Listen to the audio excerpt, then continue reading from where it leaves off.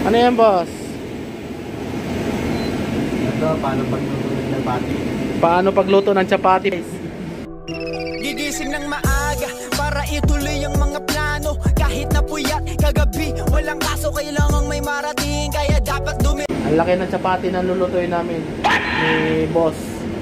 Shout out sa'yo, boss. Shoutout sa'yo, boss! Hanggang alas 7 pa kami.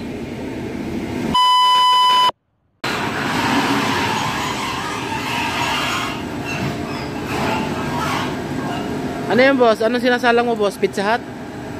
Yan, chapati. Ah, chapati pala sa Pizza Hut. So, bali, dalawa-dalawa lang yung karga.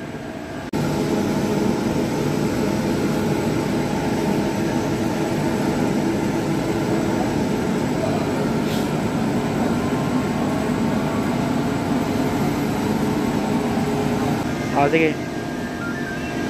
Sige na.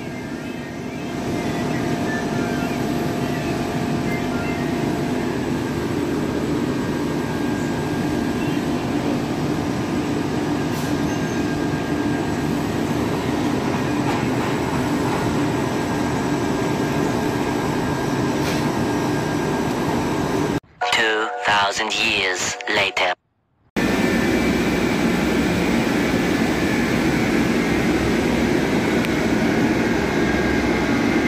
So guys, tapos na kami. Ah, mag ano na quarter to 7. So ayaw na magsalang yung kasama ko ng class. So uwi na kami. Ah, ito lang yung natapos namin. Yan. Yan. Simula umaga. Simula umaga at saka yun. At saka kinuha na yung apat na trolley.